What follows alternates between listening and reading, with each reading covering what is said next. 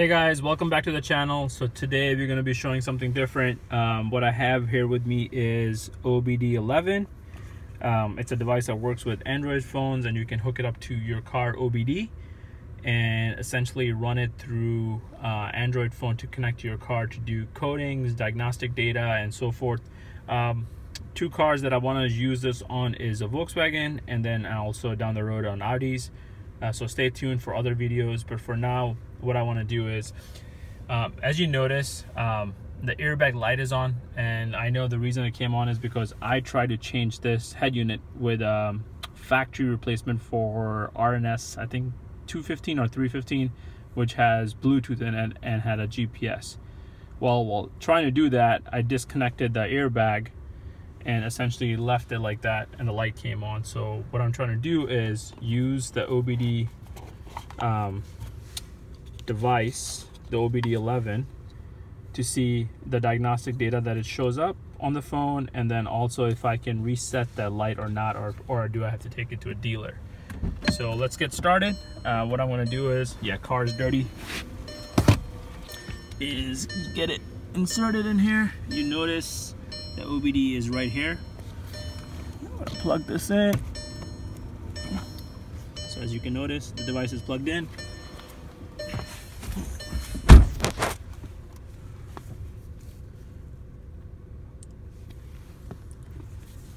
So what you're gonna do is, let's see if I can do it this way. You're gonna connect to it. It's gonna, basically it's gonna allow, ask to allow the Bluetooth. I'm gonna say yes.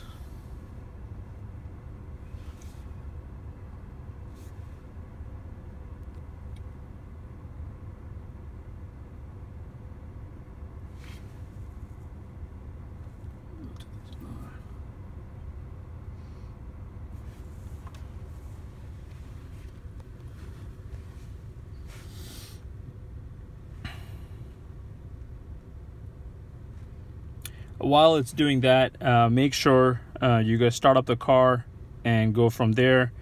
Obviously, it has picked up the list. As you can see, it's asking for OBDeleven, so I'm going to click on OBDeleven. I have not connected this device before, so let's see what this is doing. Do not unplug.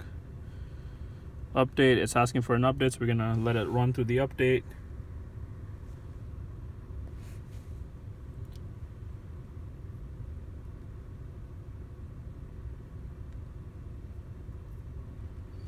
Uh, so essentially, I think this is just like um, the BimmerCode app. Uh, when you run through the first time, it's going to ask for an update. So it updated. We're going to click OK.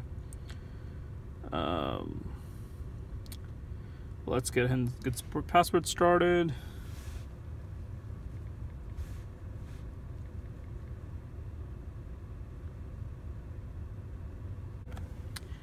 Sorry about that. I had to type in um, the password. Just make sure you type in the same password because I kept fat fingering it. Uh, model, uh, we're gonna do Jetta because that's where we have modification, Jetta, Jetta, Jetta, Jetta NAR. Um, click OK. It's gonna try to connect. As you can see it has connected. Um, it's telling me its problems inactive and so forth so we're gonna scan it. So it's scanning all one of the 11s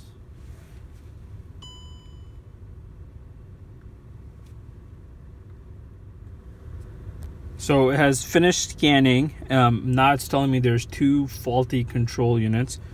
So let's see if you can hold to clear it um, let's see if it clears it.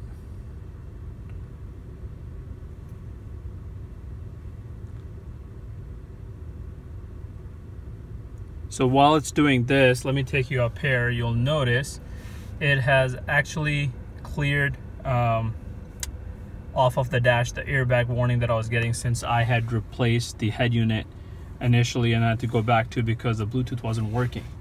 Um, so that is great news that I can actually do it with the app and I do not have to, you don't have to go down to a dealer and spend 80 to $100 just to have the light reset uh, while they hook up their VCDS coding.